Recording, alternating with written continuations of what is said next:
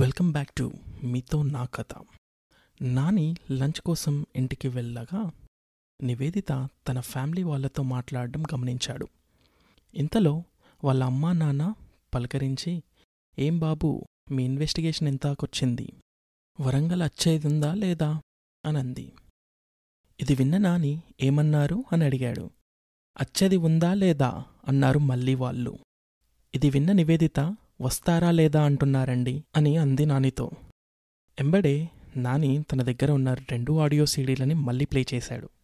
ఆ వాయిస్ని విన్న నివేదిత ఏమండి హీరో గారు మీ కిల్లర్ కూడా వరంగల్లా ఉన్నాడే సేమ్ మా అమ్మా నాన్న మాట్లాడినట్టే ఉంది అని ఉంది నాని తన దగ్గర ఉన్న రెండు టీమ్ డీటెయిల్స్ చూసి నిత్య సూర్య ఇంకా శివ ముగ్గురు వరంగల్ వాళ్ళే అని తెలుసుకున్నాడు. అయితే చంపిన వ్యక్తి సూర్య ఉండొచ్చా? అని అన్నాడు నివేదితతో. అప్పుడు నివేదిత యుఎస్లో టెడ్ కెజన్స్కీ అనే సీరియల్ కిల్లర్ని తన లాంగ్వేజ్ బట్టి పట్టుకున్నారు. బహుశా మీరు కూడా తన భాషను బట్టి సర్చ్ వారెంట్ లాంటిది తీసుకొని సూర్యాని ఇంట్రాగేట్ చేయొచ్చేమో చూడండి అని చెప్పింది. నాని పోలీస్ స్టేషన్ వెళ్ళగా సంగీత వచ్చిందని చెప్పారు. సార్ ఇందాక నాకు విజయ్ ఫోన్ చేశాడు. నన్ను చంపుతా అని బెదిరించాడు అంది సంగీత. అదేంటి? అని ఆలోచిస్తుండగా ఆడియోని ప్లే చేసి వినిపించాడు తనకి. అప్పుడు సంగీత మాటలు ఇలాగే ఉన్నాయి కానీ వాయిస్ వేరేలా ఉంది సార్ అని చెప్పింది. అలా సంగీత అనేసరికి సూర్య వాళ్ళింటికి సర్చ్ వారెంట్తో వెళ్ళాడు. నిత్య అప్పుడు నానితో సూర్య ఇంట్లో లేడు తను వచ్చాక చెక్ చేయొచ్చు అని చెప్పింది. కానీ నాని సర్చ్ వారెంట్ ఉండడం వల్ల ఇల్లు సోదా చేయడం తప్పనిసరి అని చెప్పి ఇల్లు మొత్తం సోదా చేయడం స్టార్ట్ చేశాడు. ఇల్లంతా వెతగ్గా నానికి వాళ్ళింటికి పంపించిన ప్యాకేజ్ డెకరేషన్ ఇంకా గవ్వలు లాంటి వస్తువులు సూర్య ఆఫీస్ రూమ్లో కనిపించాయి.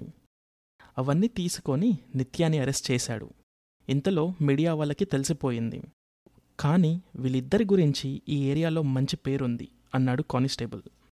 మంచి పేరున్నంత మాత్రాన హత్యలు చేసి ఉండరు అని ప్రూఫ్ అయితే ఏమీ లేదు కదా అన్నాడు నాని.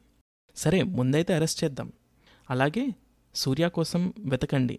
తను కనిపిస్తే తీసుకురండి అన్నాడు నాని. ఇంతలో సూర్య ఇంటికి వచ్చేశాడు.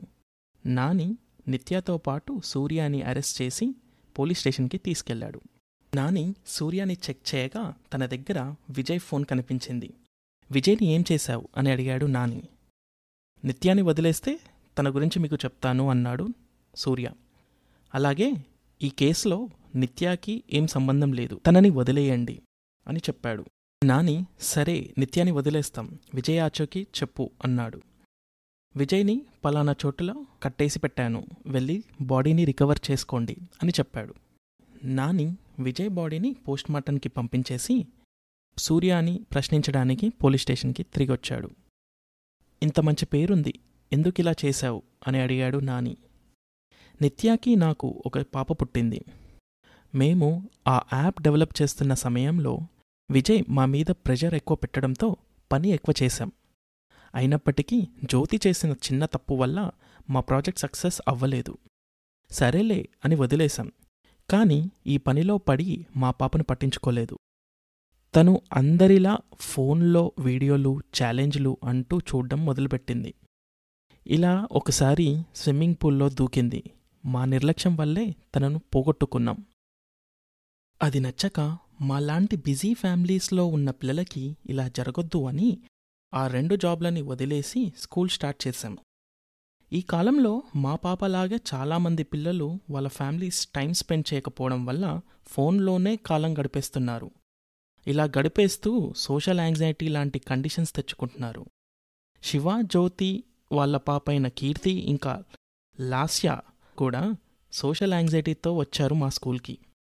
నిత్య వాళ్ళకి ఎన్నోసార్లు చెప్పింది ఇలా చేయటం వల్ల పిల్లలు నష్టపోతారు అని. వాళ్ళు శరామామూలే అని బ్రతికేశారు.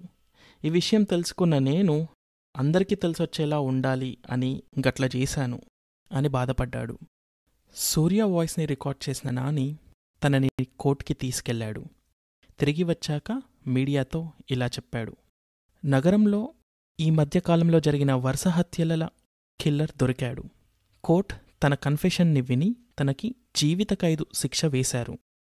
తను సమాజానికి చెప్పాలనుకున్నది కూడా కరెక్టే. అయినప్పటికీ చెప్పిన విధానం తప్పైంది. అందుకే ఈ శిక్ష పడింది.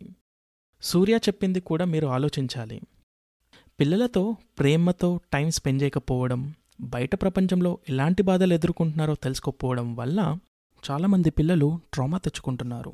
వాళ్ళు ఫేస్ చేసింది మీరు చేయకుండా మీ పిల్లల్ని కాపాడుకోండి అని చెప్పాడు నాని. ఇంతలో మీడియా వాళ్ళు ఇతనే గవ్వల గణేశా సార్? అని అడగ్గా అతని ఆచూకీ త్వరలోనే తెలుస్తుంది అని చెప్పి వెళ్ళిపోయాడు. ఇంతటితో ఈ కథ ముగిసింది. నాని చివరిగా చెప్పిన గవ్వల గణేష్ ఆచూకీ గురించి తదుపరి సిరీస్లో తెలుసుకుందాం. అందాక సైనింగ్ ఆఫ్ మీతో నా కథ మీ మనీ. అలాగే వేరే కంటెంట్ కొరకు నా ఛానల్ని సబ్స్క్రైబ్ చేసుకోండి. Thank you.